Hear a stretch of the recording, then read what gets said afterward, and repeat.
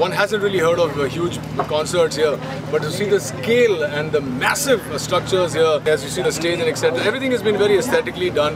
Um, and uh, you know, I associate, um, uh, what do I say, detailing with Ferris wheel and how um, the, the company can actually make you feel at home. So I think Ferris uh, wheel has really, really made us feel at home. So thank you very much.